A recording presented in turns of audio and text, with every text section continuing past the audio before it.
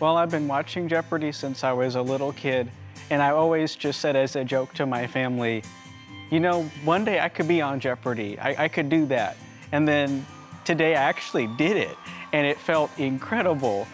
Right now, I feel like top of the world. Really just being here is a dream come true and being able to actually win a game is just, it's amazing. My mom tells me that when I was in her womb, when they used to play the Final Jeopardy song, I used to kick. I remember my dad like uh, using the DVR to record Ken Jennings episodes like when I was like five years old and ever since it's just been a part of my life. My parents have been telling me every year, probably since I was 12 or 13 to try out, so I've been taking the online test. Watched a lot of Jeopardy episodes previously. I was clicking on the pen at home uh, to prepare for this. I kind of went through Wikipedia pages for different shows and historical events that I didn't really know anything about. Going through old questions on J-Archive and making flashcards. You can never really predict what's going to be asked about on Jeopardy, so you gotta just kind of enjoy your life and pick up knowledge as it comes to you. It's really been awesome getting to meet so many people from all over the country. I've made so many amazing friends, and I'm just so happy to be here. Super excited to see what happens next.